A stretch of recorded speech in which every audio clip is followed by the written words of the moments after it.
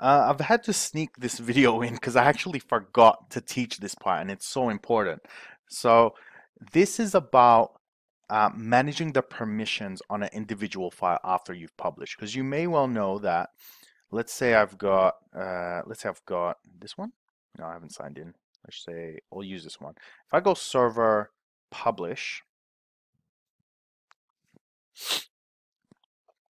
give that a second right and oh, these are all published data sources. Um, you'll oh no here permissions, right? So if I click here, I go edit, I can control the permissions of what people can and can't do, right? For this particular workbook.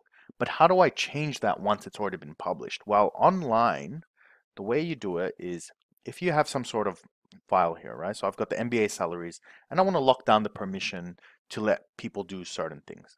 All right, so if I click more actions, go permissions.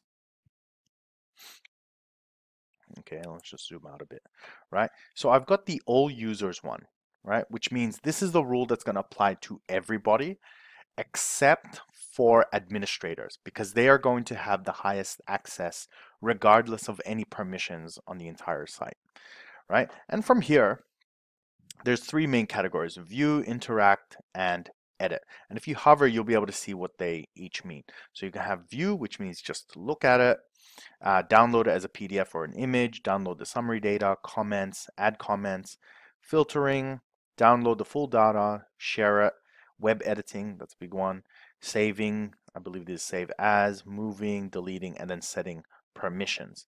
Right, now that's what applies to everybody. But what if I wanted to give a certain person different conditions, right? So you can add additional rules. So this is your default rule, right? And then adding a user specifically will overwrite that rule to give that person the rules that you set.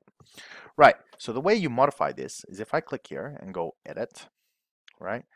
I can tick or cross this. Now, if it's unspecified, that is the same as a cross, right? Except where groups are involved right? So let's say I have a group of users that I've created, right? Using this button right here, I can create a group of people, right? If I set different rules to the group versus different rules to the individual, if I haven't specified the rules, it will take on the rules of the group, okay? And vice versa, I can't remember how it works, but that's, that's what you wanna do um, in terms of your permissions. So here I can, let's say I want everyone to just have full access. I can turn that all on.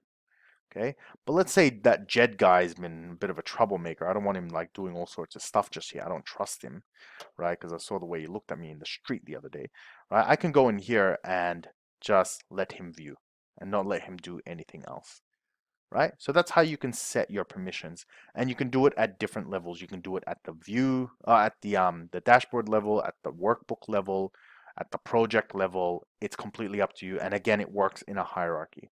So what I would recommend if you're just getting used to this, right, is get a few guinea pigs, some of your friends, some of your colleagues, and start playing with the permissions and see what they can and can't see. Once you do that, once or twice, it's actually pretty straightforward. It's a really, really simple way to um, monitor and manage all your permission settings. And when someone goes, hey, listen, can I have access to this, right? It's really easy to come in here and just add them as a user. Okay, so that's how you would do your permissions.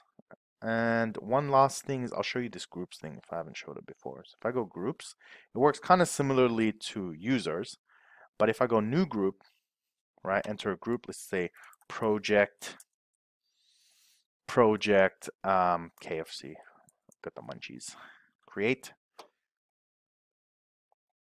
Okay, I've got uh, project KFC, and I can add people to this group. So go add users. So we've got Jed, and then I can tick everybody else that is going to be in this group. And then I can reference that group either for permissions or for comments or um, for subscriptions. And it's just another way to manage your users. So that's it. I hope you enjoyed and I'll see you next time.